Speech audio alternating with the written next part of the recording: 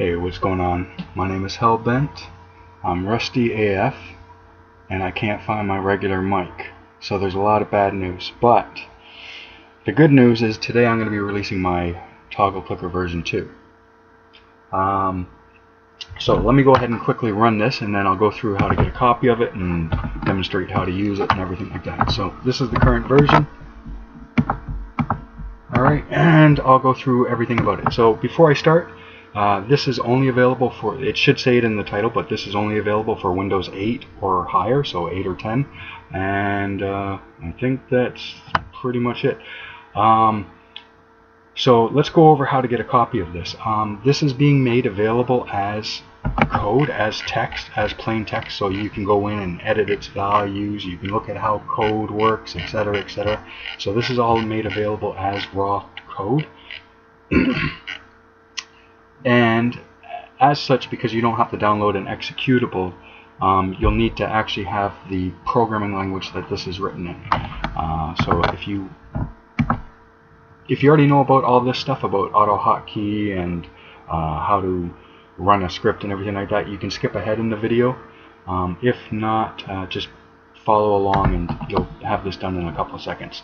Uh, so the first thing is just Google AutoHotkey and then go to their site and then just download the current version. So this is uh, if it doesn't say this, it might say uh, version 1.1 dot something something something.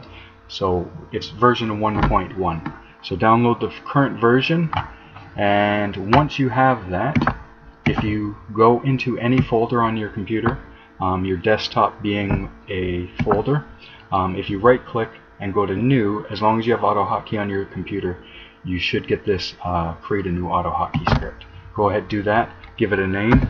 Uh, the name of this program is uh, Toggle Clicker version 2, so give it that name. Um, and then, once you're done that, you can right click it and go to edit script to edit the script. Um, I have I do a lot of programming so I have a nice editor that allows me to, that has a bunch of different bells and whistles if you're new to AutoHotkey you probably don't have an editor so when you right click and go to edit script it's going to open up for you in plain notepad. It's just going to be plain notepad. There's no colored text no fancy anything like that. That's fine. It, it'll work exactly the same. Just note that when I run it it's going to look a little bit different than it does on your end. Alright when you do that, you should get these four lines of code. What you want to do is just get rid of those because we don't need them. And then if you go to the description of this video, there should be a link to a Pastebin page. Um, in more options, there's this thing called share link. And what the, if you press that, what it's going to what it'll do is it'll uh, link you to this video that we're doing right now. So since the video doesn't currently exist, I can't really, it doesn't really exist here yet, so this, I have to add that in and I'll create a new link afterwards. But anyways, you're going to go to this, uh, in there'll be a link to this page, or well, it'll be a different page in the description, and you're just going to go down to the bottom of it to get the raw text. You can right click and then press Control plus A, and then Control C, and that'll put it in your clipboard and then you can paste that into your script. Once it's pasted into your script, you can save it and then go back to where you saved your script and you can right click it and hit run script or you can double click. And when you do, you should get this. Alright, now let's go over the operation. Um, I don't I've recorded this now, it's like the second time, so I don't know if I said this, but uh, this is a very specific, uh, this AutoClicker has a very specific purpose um, or what it's designed for. Uh, if this auto clicker doesn't meet your needs, perhaps one of my other ones do. So, for example, I got I got all kinds of shit, and just check it out. Uh, pixel search, blah blah blah. So, not this might not suit your needs for the task that you're looking for, but I probably do have something that does suit your needs.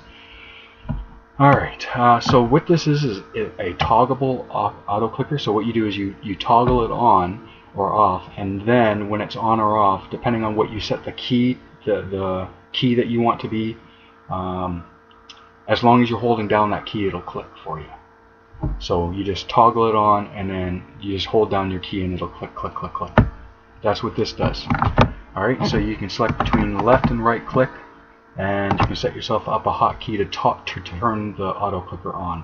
So let's say I'm going to do Z. So my hotkeys are set. Uh, left click, click speed. Um, it's you can do a random uh, um, you can do randomized values between diff two different ranges. It doesn't matter which one you set it to, min or max. It doesn't really matter.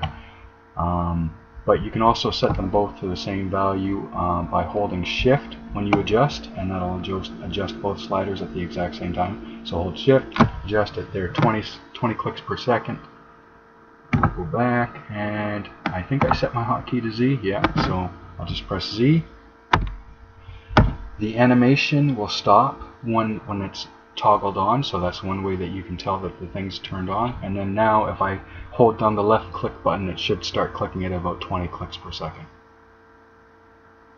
And there we go. Couldn't get better than that. Alright um, I think that's it. So I'll go over a couple of things if you want to there was a couple of features that I didn't end up adding in. Um, like I, this project just took too long and I, I always have a problem with coming back to projects after months of being away from them. So I, I, just can't work on this thing anymore. So there was a few things that I didn't add in. There was a few advanced options that I was going to work on, but I didn't end up adding them in. And autosave, I didn't current, I didn't add in. But I'm going to show you right now, if you want to know how, um, how to get basically get past this. So that way you can actually set your own values. So let's go into the code. And the first thing is this thing called long click. Now I would suggest not adjusting this at all, but if you want to, what this does is some applications requires uh, the click to be held a little bit longer in order for it to get registered. So that's this timing here. Um, there's only so much you can do with this. So let's say that this it all makes perfect sense if you think about it for a second, but if I set it to click 20 times per second, that's 50 milliseconds. So if I, that's 50 milliseconds per click. So if I set this value to anything greater than 50 milliseconds, then obviously it's not, it's never going to click 20 clicks per second. So there's a reason, just understand that and you can adjust this to anything you want. Um, the next thing is about the hotkeys. If you go down to this, this uh, function called object setup, you'll see there's there's four things that you need to adjust.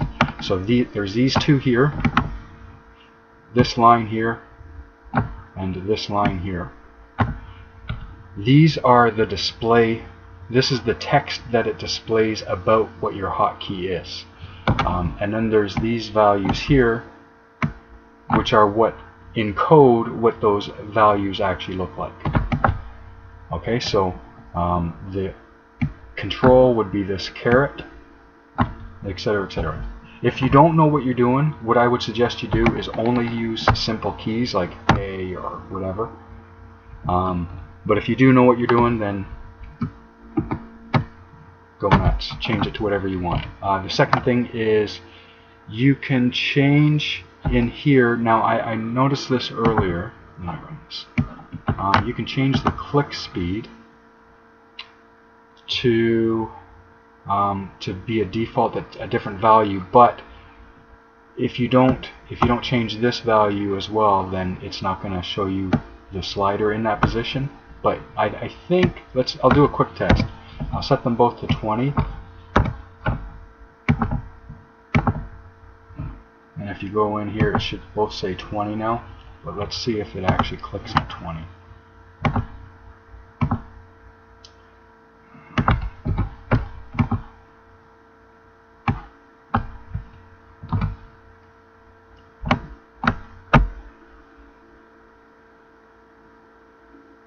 Yeah, okay. So yeah, so even though it doesn't change the graphics, um, that's fine. Because you don't want to, you don't, you probably don't want to sit there and figure out the math for the, the positions. But yeah, you can do that. So let me undo that stuff. Um, and I think that is it. I think I think that's about all the values you would need to worry about. Options. yeah, I think that's it. Um, if you have any questions, just leave a comment down below. Anyways, uh, hope you enjoy. Uh, I'll see you guys on Toggle Clicker version 3. Peace.